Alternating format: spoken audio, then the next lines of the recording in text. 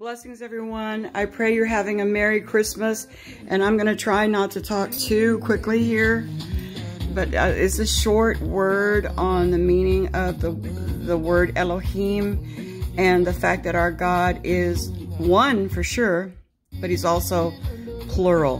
In Genesis 1:26, it says, Let us make a man in our own image, after our own likeness, and let them have dominion over the fish, over the sea, over the fowl of the air, and over the cattle, and over all the earth, and over every creeping thing that creeps upon the earth.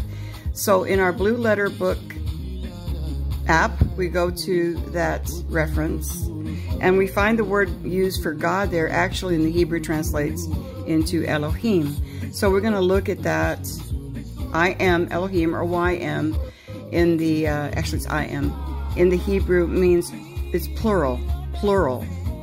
So the meaning for this word is God, and, and this is how many times the word is mentioned, 2,346 times. Ju uh, judge, judge, God, goddess, great, mighty, angels, exceeding. How many know there are angels of the Lord? Uh, godly and God word. And here, they are plural. Okay, so Elohim means us, us. And how many of you know that more are they that are with us than they that are against us? Um, he is divine and able to accomplish everything that is before him for his church, and we are his church. Much love tonight, beloved. Have a blessed Christmas. And remember, Elohim is our God.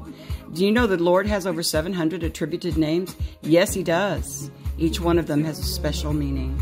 God bless you. Shalom, I love you, and prayers for all.